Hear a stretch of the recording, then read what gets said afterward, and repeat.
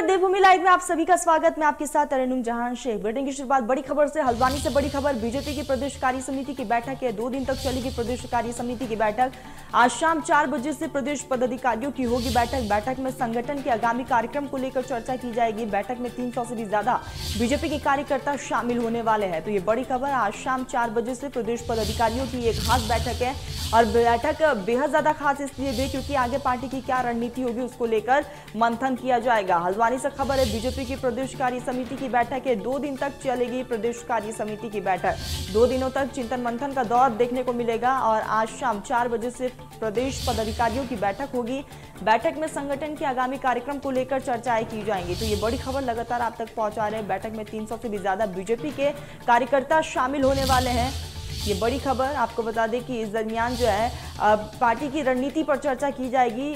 BJP की प्रदेश कार्य समिति की बैठक, बेहद खास है हल्द्वानी से खबर, दो दिन तक प्रदेश कार्य समिति की बैठक चलेगी। इस दरमियान जो है, तमाम बीजेपी के कार्यकर्ता शामिल होंगे।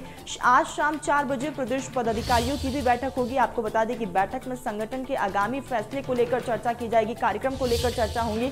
और बेहद खास आज का दिन, क्योंकि बैठक में तीन सौ से भी ज़्यादा बीजेपी के कार्यकर्ता जो है, वो शामिल होने वाले ये बड़ी खबर लगातार हल्द्वानी से। बीजेपी की प्रदेश कार्य समिति की बैठक है आज, और ऐसे में आपको बता दें कि आज शाम चार बजे पदाधिकारियों की भी खास बैठक होने वाली है।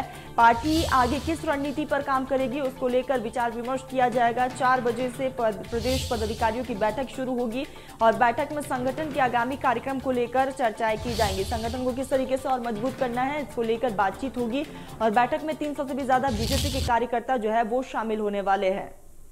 तो बीजेपी का महामंथन जो है साफ़ तौर पर देखने को मिलेगा। बैठक में 300 से भी ज़्यादा बीजेपी के कार्यकर्ता शामिल होंगे। बीजेपी की प्रदेश कार्य समिति की बैठक बेहद खास। दो दिन तक ये कार्य समिति की बैठक जो है वो चलने वाली है। सहयोगी रोहित फोनो लाइन पर जुड़ चुके हैं। रोहित, दो दिनों तक चिंतन बैठक का दौर देखने को मिलेगा। कितना खास ये बैठक? देखिए, बीजेपी की जो है कार्य समिति की एक पर बैठक बुलाई गई है। हालाँकि ये दो दिवसीय बैठक होनी जो हल्द्वानी में होनी है। जिसकी तैयारियाँ पहले से कर ली गई थी हम्म। मुख्य रूप से देखें तो उसमें तमाम मुद्दों को चर्चा किए जाएँगे इसमें की मुख्य रूप से ये रहेगा कि पार्टी को और मज़बूत बनाना है आगामी चुनाव के लिए क्या कुछ रणनीतियाँ बनानी है किस तरह से संगठन और अधिक काम कर सके बूथ स्तर कार्यकर्ताओं को जोड़ सके इन तमाम विषयों को लेकर के जो है गहन मंथन किया जाएगा चर्चाएँ की जाएँगी इस लिहाज से भी बीजेपी संगठन के लिए सबसे बड़ा कह सकते हैं कि महत्वपूर्ण बैठक ये है और यह कार्य समिति की बैठक होगी जो कि हल्द्वानी में होगी इसमें राष्ट्रीय स्तर के कई नेता जो है वह भी शामिल होने होंगे और उसके अलावा प्रदेश स्तर के सभी नेता लगभग इसमें शरीक होंगे। जी। बिल्कुल रोहित यानी कि साफ़ तौर पर कहा जा सकता है कि योजनाओं पर भी ज़िक्र किया जाएगा और इस दरमियान फीडबैक लेते हुए भी नज़र आ सकते हैं।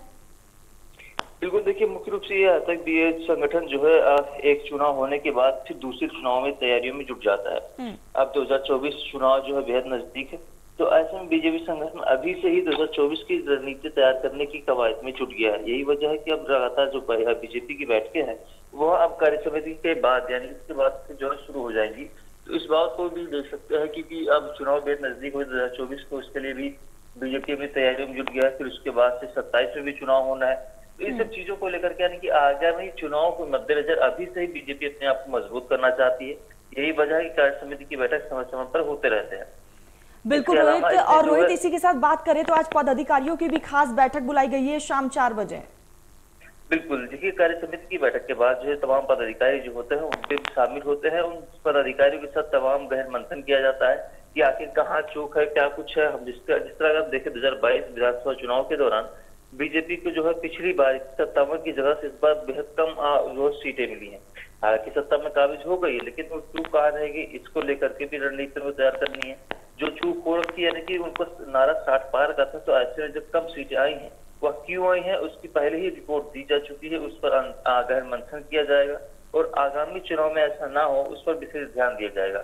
यही वजह है कि पदाधिकारियों के साथ लगातार बैठकें की जाती हैं और कल से हल्द्वानी में दो दिवसीय बैठक होनी है। तो उसको लेकर के जो है रणनीतियाँ पूरी तरह से बीजेपी की ओर तैयार की जा रही है। यही वजह कार्य समिति की बैठक बुलाई गई है। जी। ठीक, रोहित, लगातार नज़र बनाए रखिएगा। आगे भी आपसे अपडेट लेंगे। फ़िलहाल तमाम जानकारी के लिए रोहित, आपका बहुत बहुत शुक्रिया।